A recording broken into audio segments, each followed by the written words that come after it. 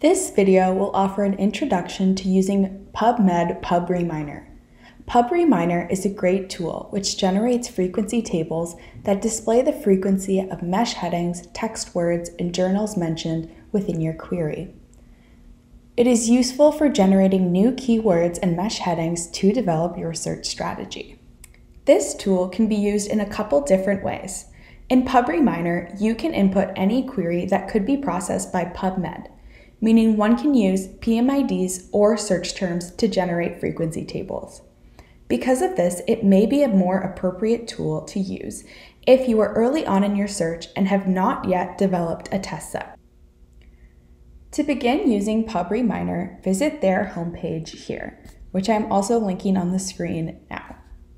For this demo, let's say I am interested in light therapy as treatment for seasonal affective disorder. I will then use the search terms light therapy and seasonal affective disorder.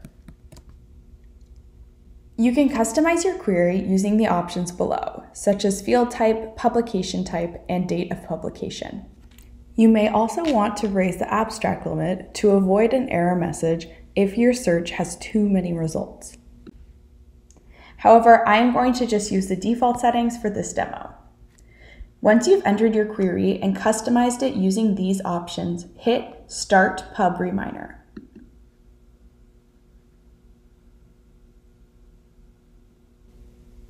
PubReminer will then generate a frequency table. This table displays the frequency at which things such as year of publication, journal, authors, text words, mesh headings, substances, and publication types appear in your query on PubMed.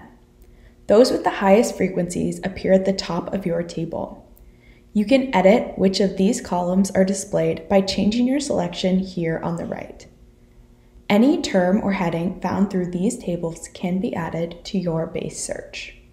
This was a brief introduction to PubMed PubReminer. If you have any more questions, feel free to visit the Gerstein website, gerstein.library.utoronto.ca, or email us at ask.gerstein at utoronto.ca. Watch our tutorial video on Yale Mesh Analyzer to learn more about other tools to help you build your search.